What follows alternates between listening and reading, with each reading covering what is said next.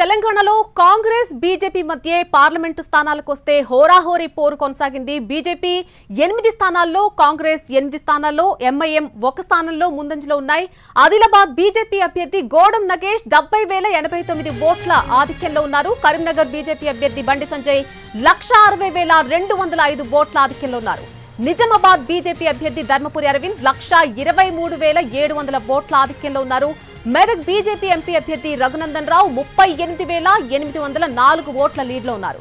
ఇక మల్కాజ్గిరి బీజేపీ అభ్యర్థి ఈట్ల రాజేందర్ రెండు లక్షల అరవై తొమ్మిది వేల తొమ్మిది వందల అరవై నాలుగు ఓట్ల ఆధిక్యంలో కనిపిస్తున్నారు. సికింద్రాబాద్ బీజేపీ ఎంపీ అభ్యర్థి కిషన్ రెడ్డి అరవై వేల తొమ్మిది వందల నలభై మూడు ఓట్ల ఆధిక్యంలో ఉన్నారు.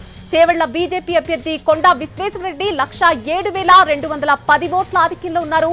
మహబూబ్ నగర్ బీజేపీ ఎంపీ అభ్యర్థి డీకే అరుణ పదహారు వేల రెండు వందల తొంభై రెండు ఓట్ల ఆధిక్యంలో కనిపిస్తున్నారు. పెద్దపల్లి కాంగ్రెస్ ఎంపీ అభ్యర్థి గడ్డం వంశీకి లక్ష పదిహేను వేల డెల్టా శ్రీహరి పంచ తులసి. ఇమ్యూనిటీ పెంచి జీర్ణకోశ శ్వాసకోశ వ్యవస్థలను ఆరోగ్యంగా ఉంచడానికి సహాయపడుతుంది. శ్రీహరి పంచతులసి ఏడు వందల నలభై ఓట్ల ఆధిక్యంలో కనిపిస్తున్నారు.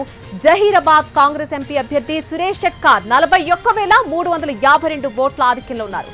నాగర్ కర్నూల్ కాంగ్రెస్ ఎంపీ అభ్యర్థి మల్లు రవి డెబ్బై మూడు వేల ఐదు వందల ఇరవై నాలుగు ఓట్ల ఆధిక్యంలో కొనసాగుతున్నారు. నల్గొండ కాంగ్రెస్ ఎంపీ అభ్యర్థి రఘువీర్ రెడ్డికి ఐదు లక్షల ఇరవై ఐదు వేల మూడు వందల అరవై రెండు ఓట్ల ఆధిక్యం కొనసాగుతోంది.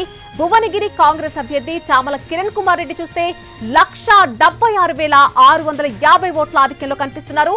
వరంగల్ కాంగ్రెస్ ఎంపీ అభ్యర్థి కడియం కావ్య లక్ష డెబ్బై తొమ్మిది వేల నూట ఇరవై ఆరు ఓట్ల ఆధిక్యంలో ఉన్నారు. మహబూబాబాద్ కాంగ్రెస్ అభ్యర్థి బలరాం నాయక్ మూడు లక్షల తొమ్మిది వేల ఏడు వందల నలభై ఏడు ఓట్ల ఆధిక్యంలో ఉన్నారు. ఇక ఖమ్మం కాంగ్రెస్ ఎంపీ అభ్యర్థి రఘురాం రెడ్డి నాలుగు లక్షల ముప్పై మూడు వేల ఎనిమిది వందల నలభై ఓట్ల ఆధిక్యంలో కనిపిస్తున్నారు.